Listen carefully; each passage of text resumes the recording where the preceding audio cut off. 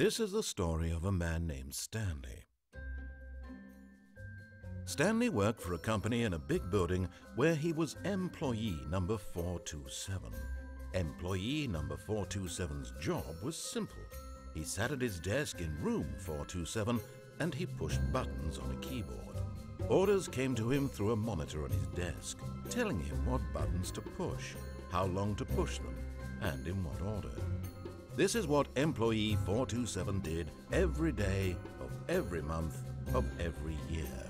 And although others might have considered it soul-rending, Stanley relished every moment that the orders came in, as though he had been made exactly for this job.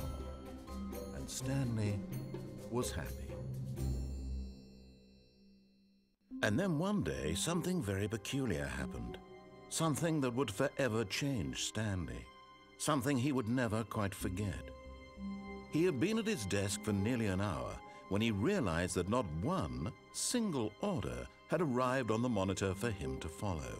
No one had showed up to give him instructions, call a meeting, or even say hi.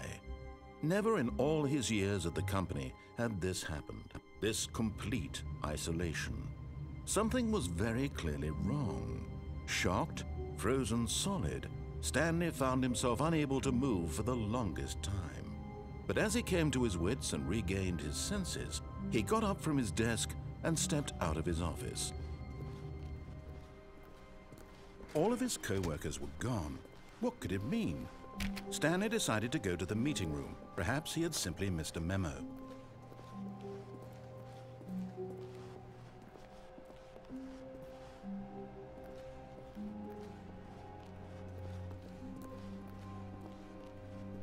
When Stanley came to a set of two open doors, he entered the door on his left.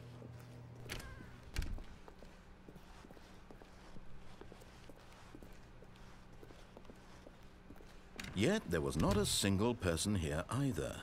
Feeling a wave of disbelief, Stanley decided to go up to his boss's office, hoping he might find an answer there.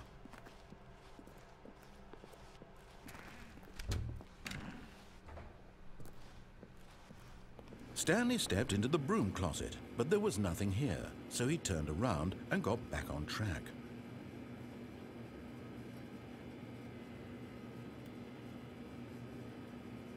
There was nothing here. No choice to make, no path to follow, just an empty broom closet. No reason to still be here.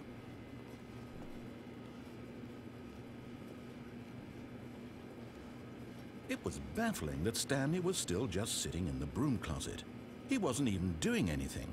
At least if there was something to interact with, he'd be justified in some way. As it is, he's literally just standing there doing sweet FA.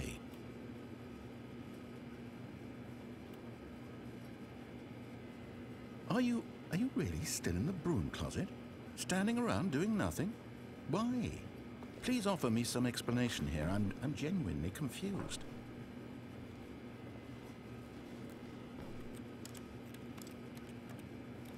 You do realize there's no choice or anything in here, right? If I'd said Stanley walked past the broom closet, at least you would have had a reason for exploring it to find out. But it didn't even occur to me because literally this closet is of absolutely no significance to the story whatsoever. I never would have thought to mention it.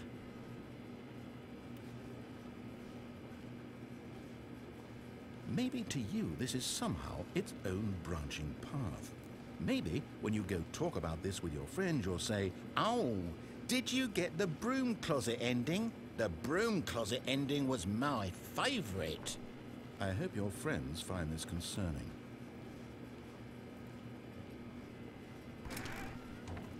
Stanley was fat and ugly and really, really stupid. He probably only got the job because of a family connection. That's how stupid he is. That or with drug money. Also, Stanley is addicted to drugs and hookers.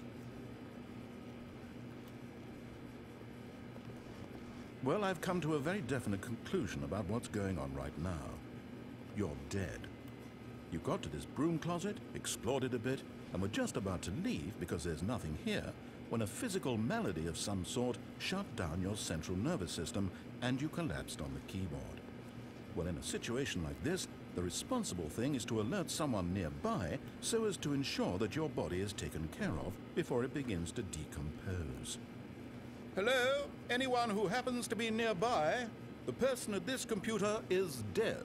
He or she has fallen prey to any number of your countless human physiological vulnerabilities. It's indicative of the long-term sustainability of your species. Please remove their corpse from the area and instruct another human to take their place at the computer, making sure they understand basic first-person video game mechanics and filling them in on the history of narrative tropes in video gaming, so that the irony and insightful commentary of this game is not lost on them. All right, when you've done that, just step out into the hallway. Ah, you too? Unbelievable. I'm at the mercy of an entire species of invalids. Perhaps there's a monkey nearby you can hand the controls to. A fish? Fungus? Look, you can hammer out the details. I'm not particularly picky. I'll just be waiting for when you're ready to pick up the story again.